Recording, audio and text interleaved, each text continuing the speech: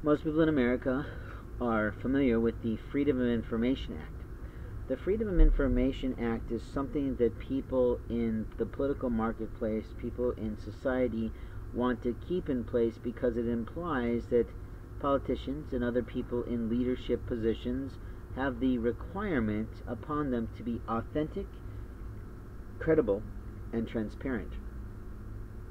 A concept that David McNally and his crew sort of put together in the overall general practice and profession of brand management. The reality is that most of us do appreciate that. But there's a handful of us who've been around maybe a little bit more than other people who feel that at the same time there has to be a privacy of records.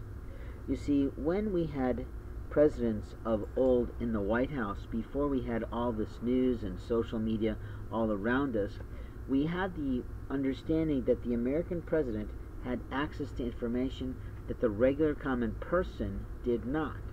For the very reason of needing to protect our borders and protect our people from wars, both internal and external. There is no right in America, in truth, for a total stranger to have access to your medical records.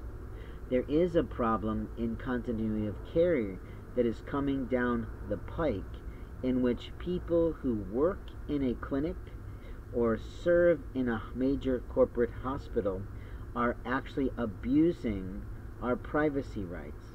I have been long an opponent of the concept they've been marketing and branding for their hospitals about continuity of care.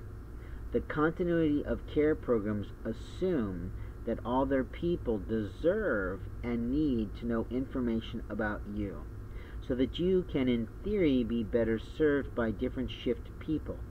You see, in the olden days, what would happen is a nurse would come on duty, she would talk to her fellow nurse, and that fellow nurse would understand what was going on at that moment of time with the patient in a room, or a patient long ago in a bed before we had these privatized rooms.